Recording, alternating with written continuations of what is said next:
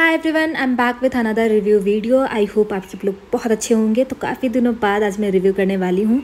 यहाँ पे मेरे पास है प्लम का शैम्पू एंड सिरम तो आज मैं इन दोनों प्रोडक्ट का रिव्यू करने वाली हूँ। तो चलो स्टार्ट करते हैं। सबसे पहला जो प्रोडक्ट है, ये है प्लम का coconut milk and peptide strength and shine shampoo here is the packaging काफ़ी क्यूट सा एंड बहुत ही प्यारा सा कलर है इसके पैकेजिंग का एंड इसका जो की इंग्रेडिएंट है, इसमें आपको मिलेगा कोकोनट मिल्क एंड पेप्टाइड्स जो आपके बाल को काफ़ी ज़्यादा स्ट्रांग बनाने में हेल्प करता है, इसको नरिश करता है एंड ये क्लेम करता है कि फ़र्स्ट वॉश में ही ये आपके बाल को बहुत ही ज़्यादा स्मूथ बनाता है एंड उसमें शाइन प्रोवाइड करता है।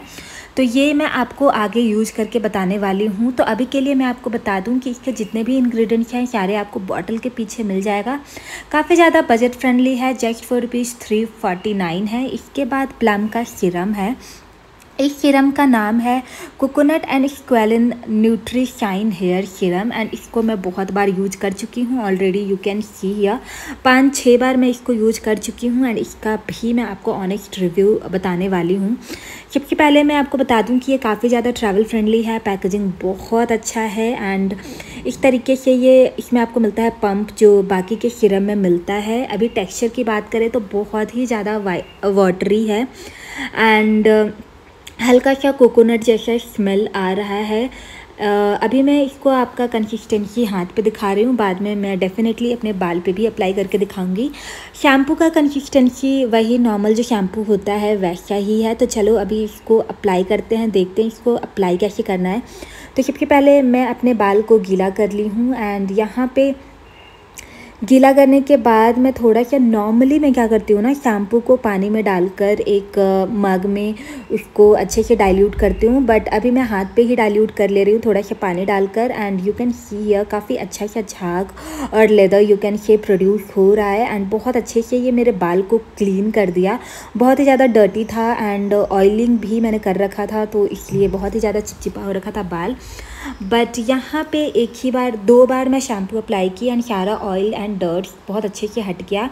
अभी मैं अप्लाई करूँगी प्लम का coconut and squalane nutri shine hair serum को। एंड ये रहा इसका आउटर पैकेजिंग थोड़ा सा गंदा हो गया है बट नेवर माइंड प्राइस की बात करें तो ये भी काफ़ी ज़्यादा अफोर्डेबल है, बहुत ही सस्ता सा सीरम है। वैसे मुझे हेयर सीरम ज़्यादा पसंद नहीं आता है बट ये वाला मुझे बहुत अच्छा लगा। एंड इससे पहले मैं लॉरियल का यूज़ करती थी, वो मेरा one of my favourite serum है बट डेफिनेटली मैं इसको भी यूज़ करूँगी।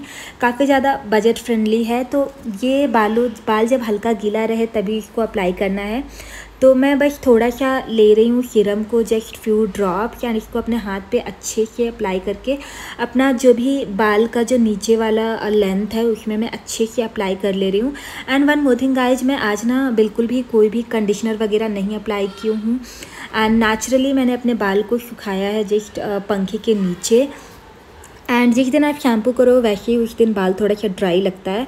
एंड बाकी शैम्पू की तरह इस शैम्पू को यूज़ करने के बाद ऐसा नहीं हुआ कि मेरे बाल बहुत ही ज़्यादा यू नो टैंगल हो गए एंड बहुत टाइम लग रहा है, उसको बिल्कुल भी नहीं।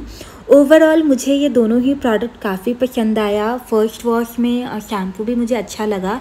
एंड सीरम तो मैं पाँच छः बार यूज़ कर रही हूँ, मुझे बहुत ज़्यादा पसंद आ रहा है। एंड दोनों ही प्रोडक्ट बजट फ्रेंडली है तो आप चाहो तो definitely you can give it a try मेरे बाल बहुत ज़्यादा फ्रिजी रहते हैं तो मुझे तो ये काफ़ी हद तक यू नो नरिशमेंट प्रोवाइड किया. एंड काफ़ी हद तक मेरा बाल स्मूथ लग रहा है. वीडियो पसंद आए तो लाइक शेयर कमेंट ज़रूर करना. बाय